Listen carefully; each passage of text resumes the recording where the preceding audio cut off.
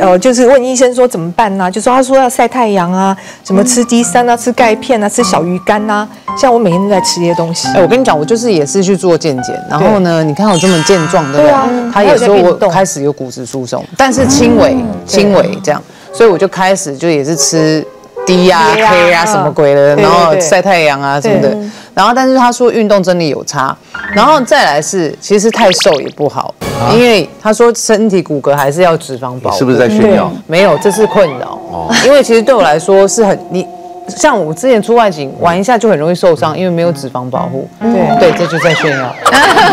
没有啦，我是说真的啦。那因为你知道，就是说还是要练肌肉，对它才能保护你的骨骼。肌力所以你看女人多辛苦，又不能太胖，又不能太瘦。对啊。对，然后呢，又要穿高跟鞋，穿完高跟鞋回家，那个骨头整个都要散掉了。而且我跟你说，就是说要一定要那个练习你的，要 build up 你的肌肉，因为要不然老了之后很容易有肌少症。